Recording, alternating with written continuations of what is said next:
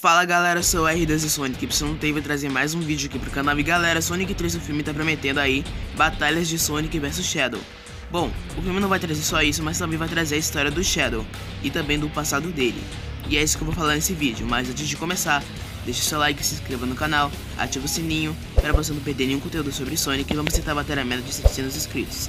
E prometemos que esse ano chegaremos aos mil inscritos. E agora chega de relação e vamos logo começar o vídeo. Mas antes, roda a vinheta aí, produção.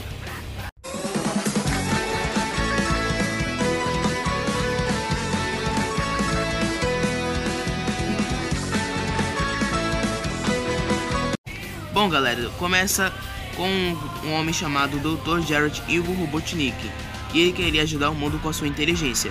Ele também tinha uma neta chamada Maria Robotnik, que ela tinha uma doença que impedia de ela respirar no planeta Terra.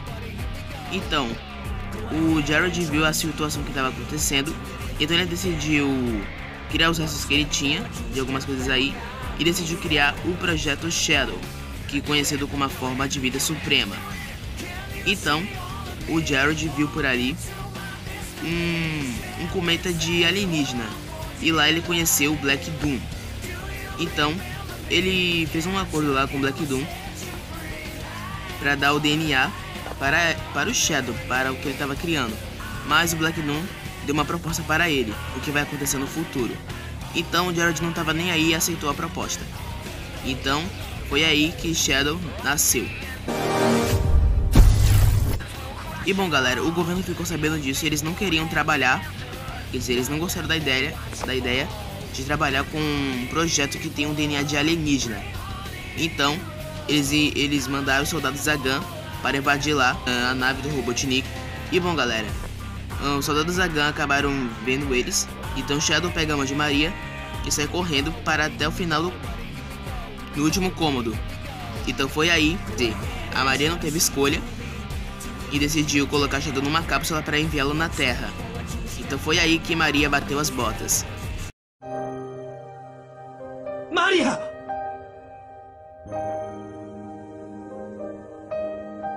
お願いシャドウみんなの願いを叶えてあげて Maria!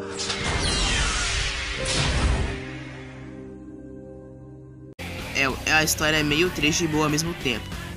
Então, galera, Shadow, então Shadow esperou 50 anos para ser despertado pelo Dr. Eggman.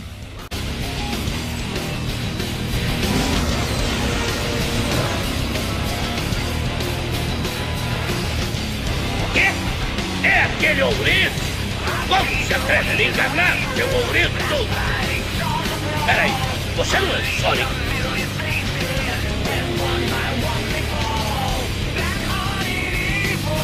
Meu nome é Sombra. Você me acordou de um estado de animação suspensa e eu sou muito grato. E para demonstrar minha gratidão, estou às suas ordens. Que é o que é o neto do Jared Robotnik. E você deve estar se perguntando, mas RDZ, qual é a importância da história do Shadow? Pessoal, tipo assim, se o Shadow não existisse, a Maria já teria morrido, cara. Porque ela tava morrendo lá daquela doença.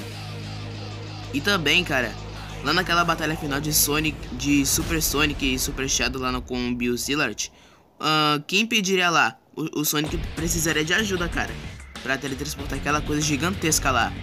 E cara, eu acho isso muito importante para a história do Shadow e também para o filme. E eu espero que eles coloquem a história do Shadow no filme, cara, senão o filme vai ser uma droga. O filme vai ser uma porcaria, mano. Mas bom, galera, foi isso que eu tive pra falar, né? Mas bom galera, esse foi o vídeo de hoje, espero que tenham gostado, se gostaram se inscreva no canal, ative o sininho para você não perder nenhum conteúdo sobre Sonic e vamos bater a meta de mil inscritos ainda esse ano. Então é isso pessoal, até no próximo vídeo e falou!